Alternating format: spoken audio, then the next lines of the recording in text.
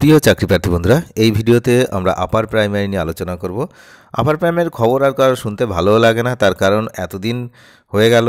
আপার প্রাইমারির যে কথাবার্তা, যত ডেট আসে সব ডেটই মিস হয়। তো এই যে আপার প্রাইমারি আজ কি হলো সেই আপডেটটাই আমরা জানাব। কারণ আমার কাজ হচ্ছে জানানো, কিন্তু এই মুহূর্তে এই আপারের খবর শোনার মতো লোকও নেই। তার কারণ হচ্ছে কারোরই ভালো লাগে না আপার প্রাইমারি নিয়ে। তার এর আট বছর হয়ে গেল এখনও সে আপার প্রাইমারি সেই রকমভাবেই রয়েছে। তো যাই হোক আপার প্রাইমারি যে এরকম কেন রয়েছে, এখন আরও বেশি দেরি হচ্ছে। তার কারণটা আপনারা নিশ্চয়ই বুঝতে পারছেন যে যে সমস্ত নথি উদ্ধার হয়েছে, যাদেরকে ধরা হয়েছে এই নিয়োগ মামলাতে তো তাদের বাড়ি থেকে যে সমস্ত নথি উদ্ধার হয়েছে, সেখানেও কিন্তু আপারের নথিও পাওয়া গেছে। এবং এরকমও অনেকে ওয়ান ক্যামেরা অনেকেই হচ্ছে স্বীকার করেছেন, আপার প্রাইমারির জন্য একে অত টাকা দেওয়া হয়েছে, ওকে অত টাকা দেওয়া হয়েছে।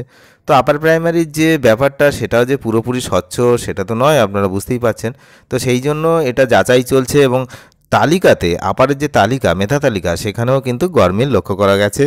আদালতে আজ হলফনামা পেশ করা হয়েছে। চলুন বিস্তারিত আমরা জেনে নিই যে এই আপারের ভবিষ্যৎ ঠিক কী এবং আজ ঠিক কী কী হয়েছে।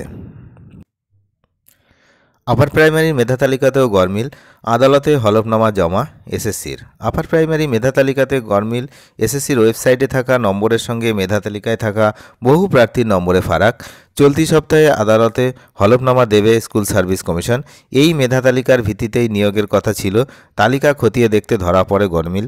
সেখানেও মেধা তালিকায় থাকা বহু প্রার্থীর খাতা ও স্কুল সার্ভিস কমিশনের ওয়েবসাইটের নম্বরের পার্থক্য রয়েছে। বুঝতেই পারছেন যে শুধু আপার প্রাইমারি নয়, যতগুলো পরীক্ষা হয়েছে ওএমআর সিটে যে সার্ভারে যে নাম্বার রয়েছে এবং অরিজিনাল যে নাম্বার রয়েছে, দুটো নাম্বারের মধ্যে কিন্তু পার্থক্য। যে নাম্বার দেওয়া হয়েছে এবং সার্ভারে যে নাম্বার রয়েছে, দুটো নাম্বারের মধ্যে পার্থক্য।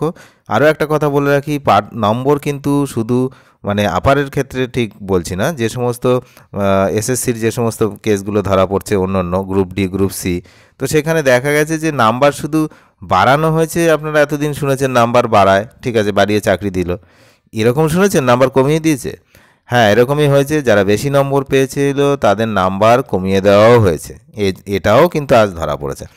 যাই হোক, তো আপারের এরকম সমস্যা আছে কি না, সেটা নিশ্চয়ই পরবর্তী সময় সামনে আসবে। তবে মেধা তালিকায় যে গরমিল রয়েছে, এটা কিন্তু হান্ড্রেড পার্সেন্ট শিওর। প্রায় চোদ্দ হাজারের মেধা তালিকা তৈরি হয়েছিল। সেই মেধা তালিকাতে রয়েছে এই ধরনের বহু প্রার্থীর নাম। এ সপ্তাহেই এই নিয়ে কোর্টে হলফনামা জমা দিতে চলেছে এসএসসি। বর্তমান সরকারের আমলে এমন এখনও পর্যন্ত আপার প্রাইমারিতে কোনো নিয়োগ হয়নি।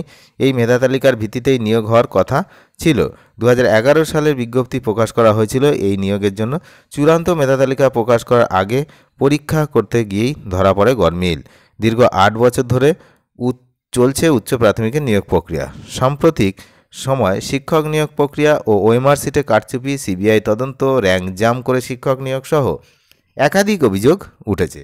এর জেরে উচ্চ প্রাথমিকের শিক্ষক নিয়োগ প্রক্রিয়া নিয়ে আরও সতর্কতামূলক পদক্ষেপ নিয়েছে এসএসসি। তারপরেও এই গরমিল সামনে এসেছে।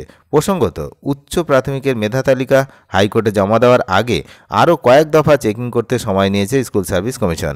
বিশেষত একাডেমিক স্কোর, টেটের প্রাপ্ত নম্বরের নিরিখে আরও কয়েক দফা চেকিং করেছে কমিশন।